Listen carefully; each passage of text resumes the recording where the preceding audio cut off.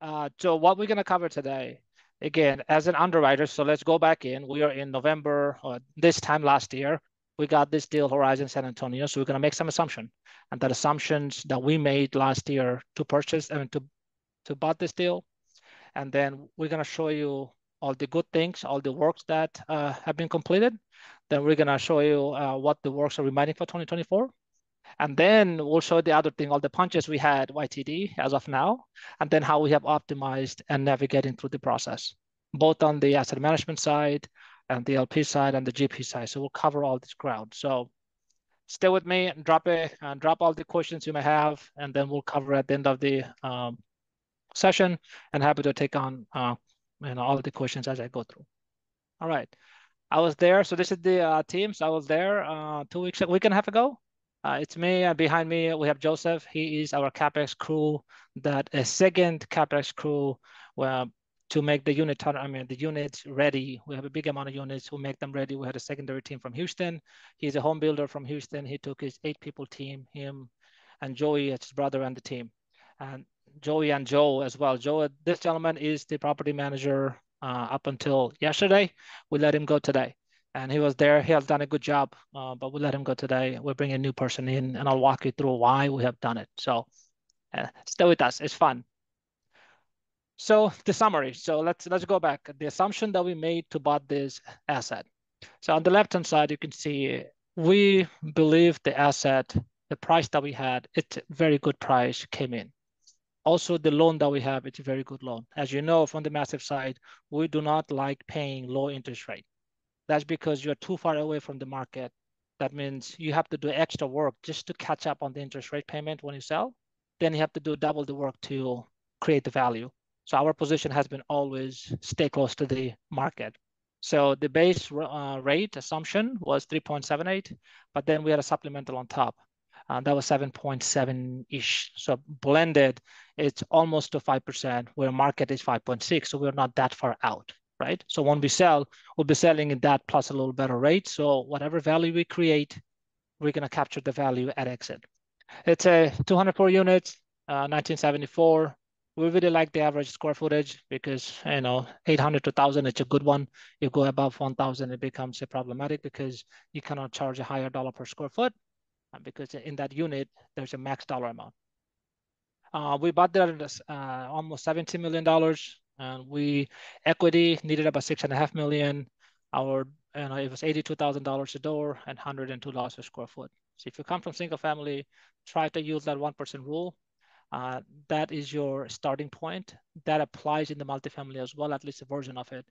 Uh, so that way you can say whether it's a Class A, B, or C, kind of quickly plays out interestingly.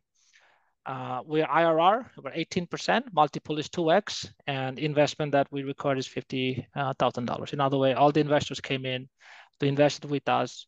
It was, you know, you give us $50,000, then go to sleep, let us do the work, come back in five years, we'll give you a little over $100,000. So that's the, that's the game plan. Interesting part, the way we structured the deal, we did not need the whole $6.5 million to close the property. We needed right around $4 million, of, $4.5 million or so. So so we, when the deal came, we took that opportunity, investors came about, and we did it. So one thing happened, that the deal was supposed to close in December. We had the entirety of the money in there. At the end of the year, you have a depreciations needed. So when you cut over to, you know, December to January, there's always a slippage in the capital. That's because, uh, and at the end of, like, this time of the year, you should optimize your income taxes and find investments that you can deploy the capital to, that not only gives you the return, but also gives you the write-offs, right? You need that. Uh, if you cannot use it, fine, bank it, and then if you can use it, fantastic, use it, right? So that's where that one was, and there was a loan assumption. Um, so Chase Bank pushed it a little bit this year. That's why we kind of went in and kind of closed it out. All right, so return that we expected, again, just to kind of recap, it was 6.5 cap going in, 6 cap going out. We ran the sensitivity at a 6.2 as well, so it works out fine. 2.3x multiple, 18 to 20 IRR, 70/30 split, five years. First 7% goes to uh, the LP. So for us, when we do a return, uh, we always ask the question, how much of a breathing room we have into the deal? That means if I have to execute everything, that means I have to get the rent, uh, the day one. We have to get the occupancy at the highest point the day one. Then I have to run the cost at a very lean and life is always perfect, sky is always blue, and then I get 18%. That's a very risky thing to go. For us, we're gonna stay here for five years.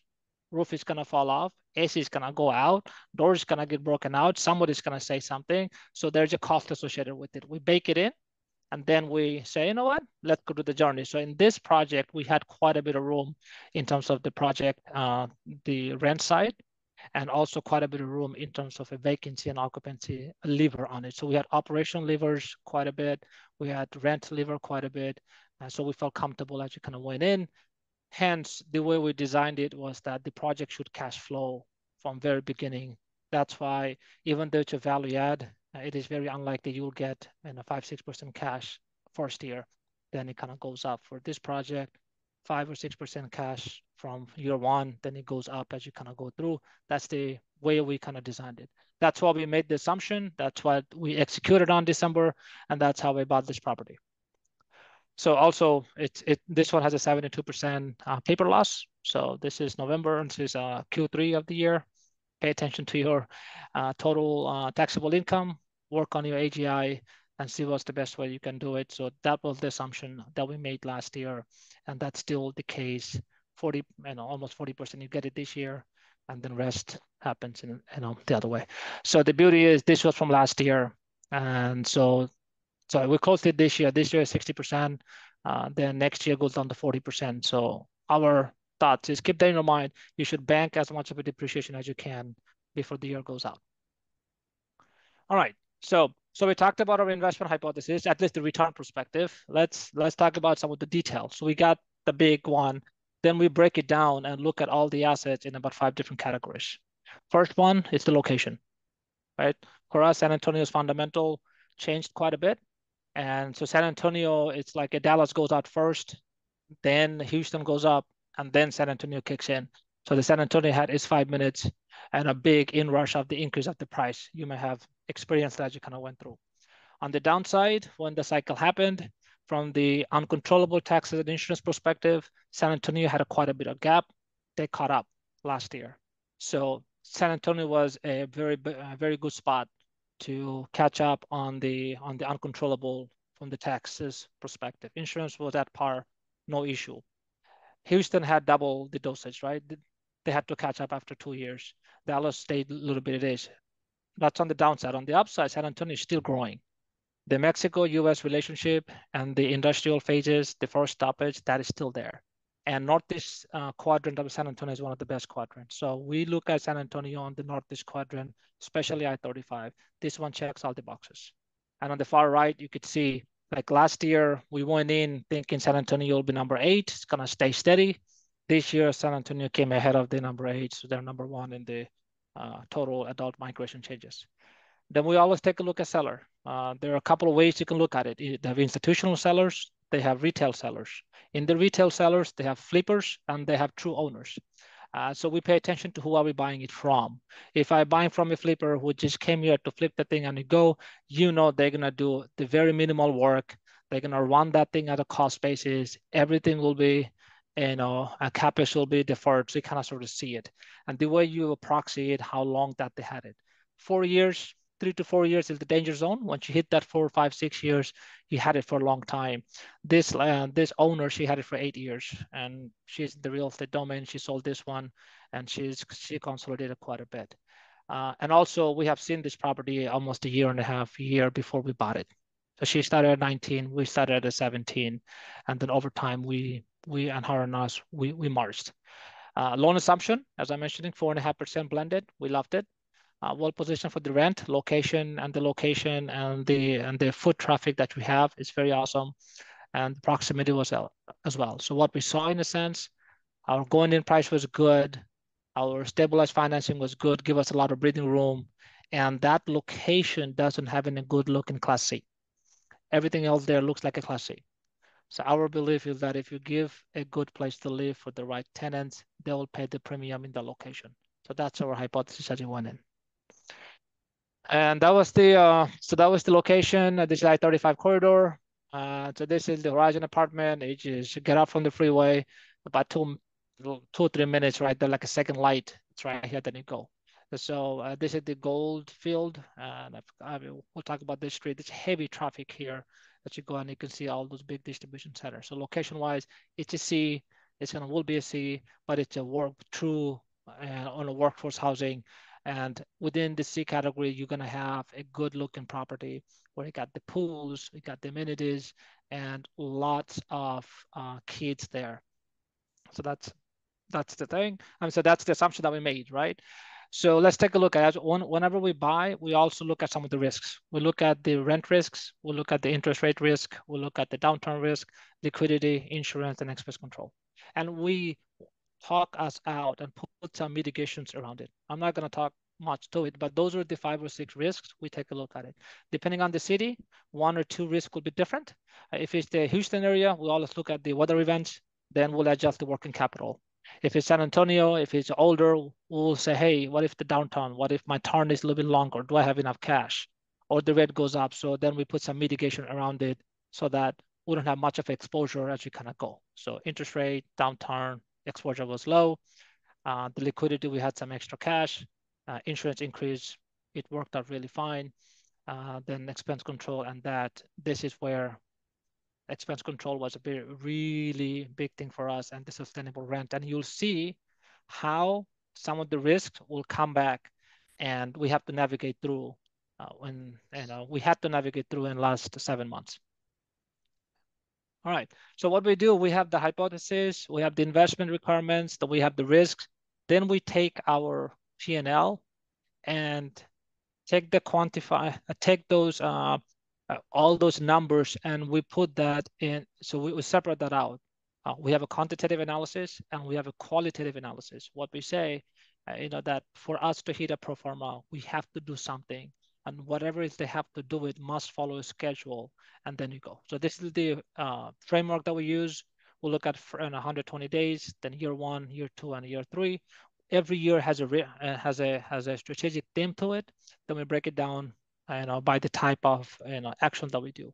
So when we came into this property, we knew a couple of things. One, she had it for eight years, and, and she ran it by herself.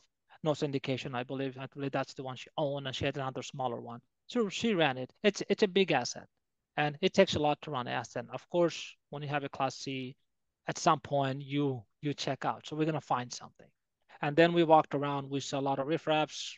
We saw some homelesses. We saw a lot of trash so we knew then there it, it lacked a sense of community. And so coming in, we knew that first 120 days, whenever you take over C, it's a heavy-handed uh, takeover. Uh, we have to do something very tactical work that sends a message to the community that, hey, here we are.